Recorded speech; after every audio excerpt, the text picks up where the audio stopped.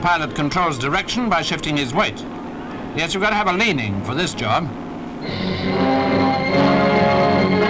This Russian aircraft flew the Austrian Chancellor, Herr Raab, and members of his freedom delegation to Moscow and back.